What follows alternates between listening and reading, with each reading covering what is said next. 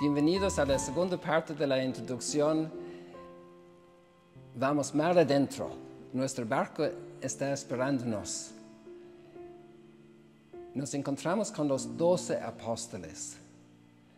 En el Nuevo Testamento encontramos muchas veces el término los doce.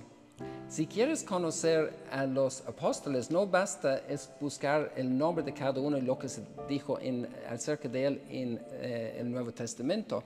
Lo que hay que hacer es también buscar dónde se dice los doce y qué significa.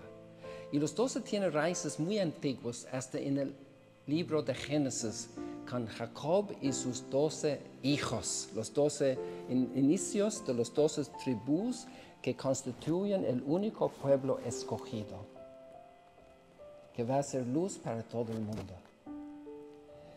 Esos doce hijos tienen sus problemas, terminan en Egipto, hay la salida de Egipto, ya dos tribus crecidos. Y Moisés les proporciona sus terrenos en la tierra prometida. Cada tribu recibe su terreno. Pero luego surgen los problemas como en todas las familias, en toda la humanidad, y hay conflictos. Hay guerra civil, hay división del reino después de Salomón, hay del reino del norte y del sur, hay corrupción, hay decadencia, hay exilio, hay dominio de poderes eh, del, del extranjero y van a Babilonia.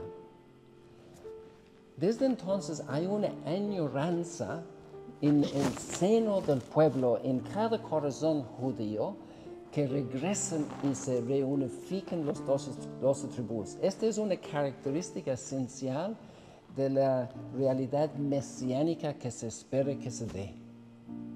Entonces no es causa de admiración si nosotros creemos que Jesús es el Mesías, que va a reconstituir el pueblo. Y adivine lo que pasa, escoge doce. Después de escoger los doce apóstoles, Jesús los forma, están continuamente con Él, siempre escuchándole, recibiendo toda su doctrina, siendo formados, entrenados, ejercitados para su misión. No son doce aislados, están juntos. Vamos a ver el siguiente texto que Jesús dice en el capítulo 19 de Mateo, al final del capítulo. Y Jesús les dijo, de cierto os digo que en la regeneración del mundo, del universo, cuando el Hijo del Hombre se siente en el trono de su gloria, ¿cuándo es eso? Vosotros que me habéis seguido también os sentaréis sobre doce tronos para juzgar a los doce tribus de Israel. Ve cómo están conectados. Los doce apóstoles sentados sobre doce trones, trones para juzgar al pueblo, a los doce tribus de Israel. Saltamos al final de la Biblia, en el penúltimo capítulo, el eh, capítulo 21 del libro de Revelación. ¿Y qué encontramos? Es una cosa increíble. Porque los apóstoles no terminaron su papel, su rol en su vida terrena. La muralla de la ciudad se siente sobre doce piedras. El versículo anterior trata los doce puertas para los doce tribus de Israel.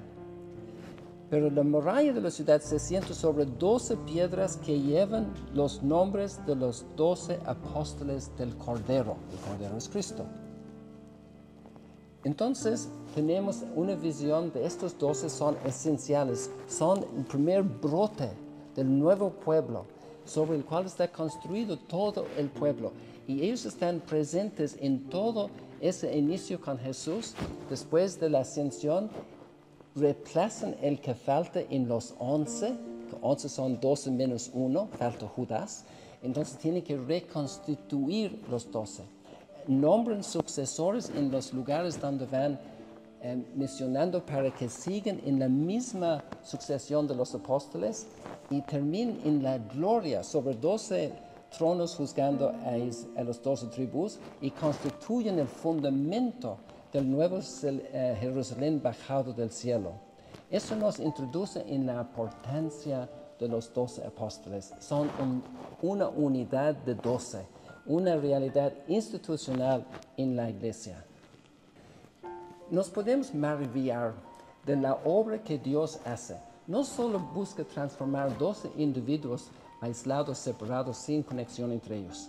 Eso ya es una obra grande, la transformación de cada uno de esos hombres muy difíciles, que llegan a ser grandes santos, grandes misioneros, mártires de Cristo, sino también hay otra obra enorme que logra Jesús, es reiniciar el pueblo de Dios, la humanidad redimida en base a los doce tribus de Israel, pero fundamento los doce apóstoles, renovando esa realidad para ser luz del mundo y toda la humanidad, los 144 mil y luego una multitud de todas las naciones. Mira el papel que esos doce hombres aquí del lago de Galilea tienen. Rememos mar adentro. Vamos a lo profundo.